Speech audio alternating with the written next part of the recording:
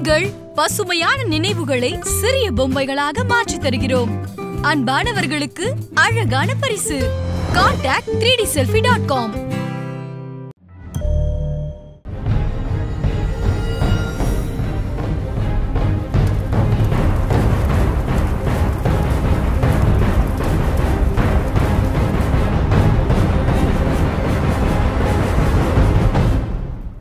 அந்த நடிகர் வளர்ந்து வரும் நடிகராக இருந்தபோது நிகழ்ந்த சம்பவம் இது. ஒரு திரைப்படத்தில் துணை கதாபாத்திரத்தில் நடித்துக் கொண்டிருந்த நேரம் மதிய சாப்பாட்டுக்காக எல்லோரும் பசியோடு உட்கார்ந்து கொண்டிருந்த போது மற்றவர்களைப் போல எப்போது சாப்பாடு வரும் என்று அவரும் காத்து கொண்டிருந்தார். பெரிய சாப்பாட்டு கேரியரை எடுத்து வந்ததும் நமக்குத்தான் கொண்டு வரப்படுகிறது என்று தயாரானார். ஆனால் சாப்பாடு அவருக்கு வரவில்லை. அந்த படத்தில் கதாநாயகனாக நடித்துக் கொண்டிருந்த ஒருவருக்கு சென்றது. அவரும் நீண்ட நேரம் காத்திருந்து பார்த்தார். வரவே இல்லை.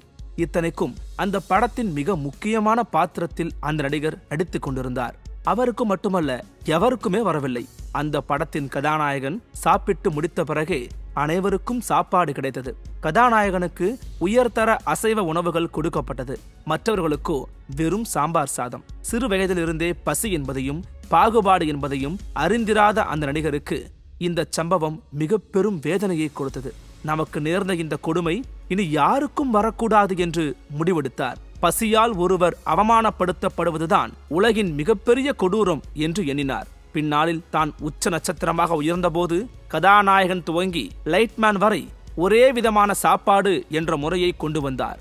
அவரை பின்பற்றி ஒட்டுமொத்த தமிழ் திரை உலகமும் அந்த உணவு முறையை கொண்டு வந்தது. அந்த மாற்றத்தை ஏற்படுத்திய நடிகர் யார் தெரியுமா? விஜயகாந்த்.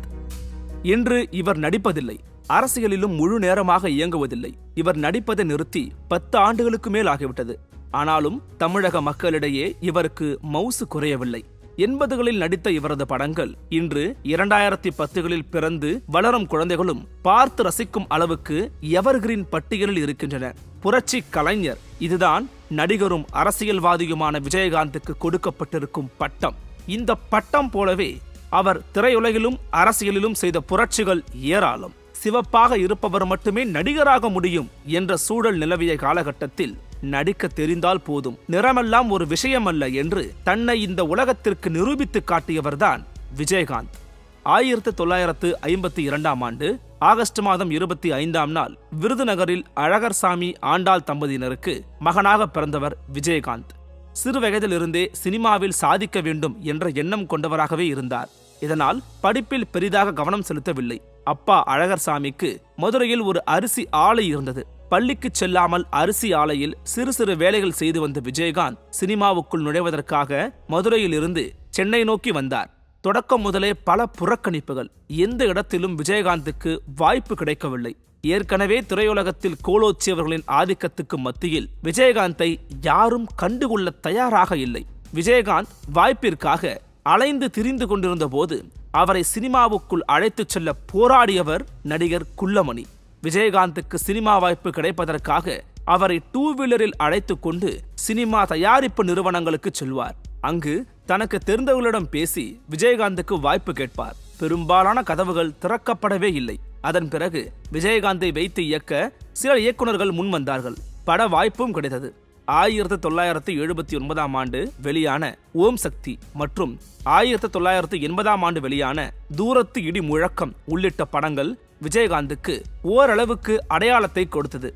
அதைத் தொடர்ந்து ஆயிரத்தி தொள்ளாயிரத்தி எண்பத்தி ஓராம் ஆண்டு எஸ் ஏ சந்திரசேகர் அவர்களின் இயக்கத்தில் வெளியான சட்டம் ஒரு இருட்டறை என்ற திரைப்படம் கொடுத்த வெற்றி விஜயகாந்த் என்னும் மனிதரை தமிழ் சினிமாவின் தவிர்க்க முடியாத நடிகராக மாற்றியது. எஸ்ஏசி விஜயகாந்த் கூட்டணியில் பதினேழு படங்கள் வெளியாகின இந்த வெற்றி கூட்டணி தொட்டதெல்லாம் ஹிட் என்னும் அளவிற்கு சக்சஸ் ஃபார்முலாவை உருவாக்கி இருந்தது நடிக்கும் எல்லா திரைப்படங்களிலும் அதிரடி காட்சிகளில் அதிகம் நடிப்பார். ரஜினிகாந்த் கமல்ஹாசன் எனும் இரு எதிர் துருவங்கள் கோலோச்சிய தமிழ் சினிமா உலகிற்குள் தனக்கென ஒரு ரசிகர் பட்டாளத்தை உருவாக்க துவங்கியிருந்தார் விஜயகாந்த்.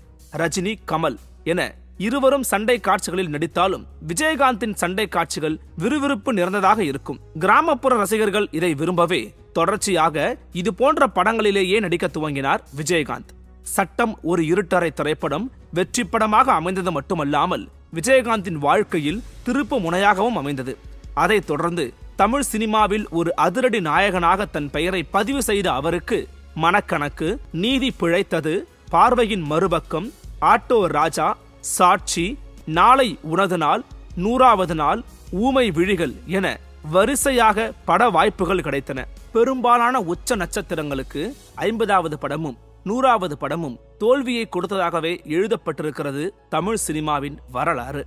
இதனாலேயே பல நடிகர்கள் தங்களது ஐம்பது மற்றும் நூறாவது படத்தை பார்த்து பார்த்து தேர்வு செய்வார்கள். பெரிதாக ரிஸ்க் எடுக்க மாட்டார்கள். ஈழ விடுதலை போராட்ட இயக்கமான விடுதலை புலிகள் அமைப்பின் மீது கொண்ட பற்றின் காரணமாக தனது நூறாவது திரைப்படத்திற்கு கேப்டன் பிரபாகரன் என்ற பெயரையே தேர்வு செய்தார் விஜயகாந்த். ஈழ விவகாரத்தை பெரும்பாலான தமிழக நடிகர்களும் இயக்குனர்களும் கை வைக்கவே தயங்குவார்கள். இந்த நேரத்தில் துணிச்சலாக பிரபாகரன் பெயரை தேர்வு செய்து அந்த படத்தை வெற்றியும் பெற வைத்திருந்தார் விஜயகாந்த். அதன் பிறகுதான் அவரது பெயருக்கு முன்னால் கேப்டன் என்ற செல்லமான அடைமொழியும் சேர்ந்து கொண்டது. விஜயகாந்தை இயக்கியவர்களும் அவருடன் நடித்தவர்களும் இவரை போல் வசனம் பேச ஆளே இல்லை என்பார்கள். ஒரு வசனத்தை பார்த்தோம் படித்தோம் மனப்பாடம் செய்தோம் ஒப்புவித்தோம் என இல்லாமல் உணர்வு பூர்வமாக ஆழ் மனதிலிருந்து பேசும் ஒரு நடிகராக இருந்தார் விஜயகாந்த். விஜயகாந்தின் நெருங்கிய நண்பர்களாக வாகை சந்திரசேகர் எஸ் எஸ் சந்திரன் பாண்டியன் தியாகு உள்ளிட்ட நடிகர்களும் இருந்தனர். இந்த பஞ்ச பாண்டவர்கள் தான் எப்போதும் ஒன்றாகவே இருப்பார்கள். சினிமாவில் லாபி செய்யும் அளவுக்கு பின்புலம் எதுவும் இல்லாமல் உள்ளுக்குள் நுழைந்து தங்களது நடிப்பையும் நிரூபித்த இந்த பஞ்ச பாண்டவர்களை சினிமா உலகம் எப்போதும் கண்டுகொள்ளாதாம். இந்த அணிக்கு எப்போதும் விஜயகாந்த் தான் கேப்டன் சினிமாவில் தான் வாய்ப்பு கிடைத்து விட்டதே. நமக்கு ரசிகர்கள் உருவாக துவங்கிவிட்டார்களே இனி நமக்கு என்ன வந்தது? வந்தோமா? நடித்தோமா? ஹாயாக ஊரை சுற்றினோமா என்று இல்லாமல் மக்கள் பிரச்சனைக்கு குரல் கொடுக்க தொடங்கியது இந்த அணி. உள்ளூர் போராட்டங்களிலிருந்து ஈழ போராட்டம் வரை எந்த விவகாரமாக இருந்தாலும் முதல் ஆளாக தனது ஆதரவை தெரிவிப்பது கேப்டன் விஜயகாந்த் தலைமையிலான இந்த கூட்டம்தான். தமிழகத்தின் வரலாற்றில் இந்தி எதிர்ப்பு போராட்டத்துக்கு முக்கிய இடம் உண்டு. தலைமுறைக்கு தகுந்தபடி இந்தி திணிப்பை எதிர்த்து போராட்டம் நடத்தி கொண்டுதான் இருக்கிறார்கள் நம் தமிழக மக்கள். இதே இந்தி திணிப்பை எதிர்த்து நடத்தப்பட்ட போராட்டத்தால் ஈர்க்கப்பட்ட விஜயகாந்த் தமிழை தவிர வேறு எந்த மொழி படத்திலும் நடிப்பதில்லை என்று முடிவு செய்திருந்தார். விஜயகாந்த் நடிப்பில் வெளியாகி தமிழில் ஹிட்டடித்த பல படங்கள் பிற மொழிகளில் ரீமேக் ஆகி ஹிட்டடித்த போது கூட தமிழில் மட்டுமே நடிப்பேன் என்பதில் உறுதியாக நின்றவர் விஜயகாந்த். இளம் ரத்தம் எதற்கும் பயப்படாத தைரியம் வறியவர்களை கண்ட உடனே உதவும் எண்ணம் என எல்லாம் கொண்ட கேப்டன் விஜயகாந்த் எண்பதுகளின் சக்தி வாய்ந்த இளைஞராக வலம் வந்தார். சினிமாவில் வாய்ப்புகள் குவிய துவங்கியதும் இல்லை என்று சொல்பவர்களுக்கெல்லாம் உதவி செய்வது பசியில் ஈர்ப்பவர்களுக்கெல்லாம் உணவளிப்பது என தம்மால் என்ன முடியுமோ அதையெல்லாம் செய்ய துவங்கினார். சினிமாவில் இவர் செய்த புரட்சி வேறு எந்த நடிகரும் செய்திடாதது என்று சொல்பவர்களும் இருக்கிறார்கள். ஒரு காலத்தில் தமிழ் சினிமாவில் ஹீரோவுக்கு ஒரு உணவு ஹீரோயினுக்கு ஒரு உணவு ஜூனியர் நடிகர்களுக்கு ஒரு உணவு தயாரிப்பாளர் தரப்புக்கு ஒரு உணவு என தீண்டாமையால் நிறைந்திருந்தது. அந்த நேரத்தில் விஜயகாந்த் பெரிய மாற்றத்தை ஏற்படுத்தினார். ஹீரோவாக இருந்தாலும் சரி தயாரிப்பாளராக இருந்தாலும் சரி கடைநிலை ஊழியராக இருந்தாலும் சரி அனைவருக்கும் ஒரே உணவு எனும் நடைமுறையை உருவாக்கினார். நான் என்ன சாப்பிட்றனோ அதையே தான் ஸ்டண்ட் மேன சாப்பிடணும் லைட் மேன சாப்பிடணும் என்ற விஷயத்தில் உறுதியாக இருந்தார் விஜயகாந்த். விஜயகாந்த் ஏற்படுத்திய இந்த மாற்றம் சினிமா ஊழியர்களை உற்சாகமடைய வைத்தது. மற்ற தயாரிப்பு நிறுவனங்கள் தயாரிக்கும் படங்களில் வேலை செய்வதை விட விஜயகாந்த் படத்தில் வேலை செய்வதில் ஆர்வம் காட்டினார்கள். தனது ஆரம்பகால படங்களில் யாரெல்லாம் உதவி இயக்குனராக வேலை செய்தார்களோ அவர்கள் எல்லோரையும் இயக்குனர்களாக உருவாக்கி அழகு பார்த்தவர் விஜயகாந்த். அப்படி உருவான ஆர். கே. செல்வமணி விஜயகாந்துக்கு கேப்டன் பட்டம் கிடைக்கவும் காரணமானார். மேலும் அந்த காலகட்டத்தில் திரைப்பட கல்லூரியில் படிப்பை முடித்த மாணவர்கள் நேராக கதையை எடுத்துக்கொண்டு விஜயகாந்த் அலுவலகத்துக்கு முன்தான் வருவார்கள் என்று சொல்லும் அளவிற்கு இளம் தலைமுறை மீது நம்பிக்கை கொண்டவராக இருந்தார் விஜயகாந்த். இன்று தமிழ் சினிமாவின் சூப்பர் ஹீரோக்களாக இருக்கும் விஜயும் சூர்யாவும் ஆரம்ப காலகட்டங்களில் ஒரு ஹிட் கிடைத்தால் போதும் என்று இயங்கிக் கொண்டிருந்த போது அவர்களது தந்தைகளுடன் இருந்த நட்பின் அடிப்படையில் சென்று சிறப்பு தோற்றத்தில் நடித்துக் கொடுத்தார் விஜயகாந்த். மற்ற நடிகர்களுக்கு மத்தியில் தனக்கென தனி அடையாளத்தை உருவாக்கியிருந்த விஜயகாந்த் புதுமுக இயக்குநர்கள் மீது அக்கறை கொண்டவராக இருந்தார். அதாவது தன் படத்தில் உதவி இயக்குநராக பணி செய்ய வந்த நபரை அழைத்து பேசி தயாரிப்பாளரை அறிமுகப்படுத்தி அதே படத்தில் நடிப்பதற்கு எவ்வளவு பெரிய மனது வேண்டும்? ஆனால் இத்தோடு தன் பணி முடிந்து விட்டது என நினைக்காமல் தினசரி படப்பிடிப்புக்கு வருவதையும் வழக்கமாக கொண்டிருந்தார். தனக்கான காட்சி எடுக்கப்பட்டு விட்டது. இனி நமக்கு அங்கு வேலை இல்லை என்று இல்லாமல் அன்றைய தின படப்பிடிப்பு முழுவதையும் முடித்து விட்டுத்தான் அங்கிருந்து நகர்வார் விஜயகாந்த். இயக்குனர்கள் நீங்க கிளம்புங்க சார். நாங்க பாத்துக்கிறோம் என்று சொன்னாலும் சும்மா இருப்பா. நான் இருக்கிறதால தான் இவங்கெல்லாம் அமைதியா இருக்காங்க. நான் கிளம்பிட்டா எல்லாரும் அவங்கவுங்க இஷ்டத்துக்கு வேலை செய்ய ஆரம்பிச்சிருவாங்க. நீ பேசாம படப்பிடிப்பில் கவனம் செலுத்து என்று ஊக்கமளிப்பார் விஜயகாந்த். ஆயிரத்தி தொள்ளாயிரத்தி தொண்ணூற்றி ஒன்பதாம் ஆண்டு முதல் இரண்டாயிரத்தி நான்காம் ஆண்டு வரை விஜயகாந்த் தென்னிந்திய நடிகர் சங்கத்தின் தலைவராக பதவி வகித்தார். அப்போது அனைத்து நடிகர்களையும் ஒன்றிணைத்து சிங்கப்பூர் மற்றும் மலேசியாவில் கலை நிகழ்ச்சிகள் நடத்தி கடனில் தடுமாறி கொண்டிருந்த நடிகர் சங்கத்தை மீட்டெடுத்து நலிவடைந்த திரைக்கலைஞர்களுக்கு உதவி செய்து பெரும் மாற்றத்தை உருவாக்கியிருந்தார் விஜயகாந்த். திரையுலகில் எந்த அளவுக்கு மாற்றத்தை ஏற்படுத்தி இருந்தாரோ அதே அளவுக்கு சமூகத்திலும் அக்கறை கொண்டவராக இருந்தார் விஜயகாந்த். தினசரி தன்னை சந்திக்க வரும் நூற்றுக்கணக்கான ரசிகர்களை இன்முகத்தோடு வரவேற்று அவர்களுக்கு வேண்டியதை கொடுத்து பாசத்தோடு வழி அனுப்பி வைப்பார். அவர் வீட்டில் எப்போதும் அடுப்பு எரிந்து கொண்டே இருக்கும். விஜயகாந்த் நடிகராக இருக்கும்போதே ஒரு அரசியல் தலைவரைப் போலத்தான் செயல்பட்டார். ஒரு பெரிய கட்சிக்கு பூத் கமிட்டிகள் இருப்பதைப் போலவே கிராமங்கள் தோறும் ரசிகர் மன்றங்கள். எந்த ஊருக்கு சென்றாலும் அந்த ஊரில் இருக்கும் விஜயகாந்தின் ரசிகர் மன்ற நிர்வாகியின் வீட்டுக்கு செல்வது என்று தன் ரசிகர்களை அரவணைத்து செல்பவராகவே இருந்தார் விஜயகாந்த். சினிமாவில் அதிரடி நாயகனாக புரட்சி பேசிய விஜயகாந்தை கிராமப்புற மக்கள் விஜயகாந்த் அரசியலுக்கு வரும் முன்பே இவரால் தான் மாற்றம் ஏற்படும் என்ற நம்பிக்கையோடு காத்திருக்க துவங்கியிருந்தனர். வயதான தாத்தா பாட்டிமார்களுக்கு ஜா என்னும் எழுத்து புதிது என்பதால் பாசமாக விஜயகாந்த் என்றுதான் அழைப்பார்களாம். சமுத்திரக்கனி இயக்கத்தில் உருவான நிறைஞ்ச மனசு படத்தின் படப்பிடிப்பில் இருந்தபோது விஜயகாந்த் நடித்துக் கொண்டிருந்ததை பொருட்படுத்தாமல் ஒரு பாட்டி உள்ளே நுழைந்தார். அவர் நேரடியாக விஜயகாந்திடம் வந்து ரேஷன் கடையில அரிசி போடுவதில் மோசடி செய்யறாங்க வா வந்து அவங்கள அடி என்று கேட்டுள்ளார். யாரையும் அப்படியெல்லாம் அடித்துவிட முடியாது என்று அவருக்கு ஆறுதல் சொல்லி அனுப்பி வைத்ததோடு அவருக்கு தேவையான அரிசியையும் கொடுத்து அனுப்பியுள்ளார் விஜயகாந்த். விஜயகாந்தே இயக்கி நடித்த விருதகிரி படத்துக்கு பிறகு அவர் சினிமா படங்களில் நடிப்பதை நிறுத்திவிட்டார்.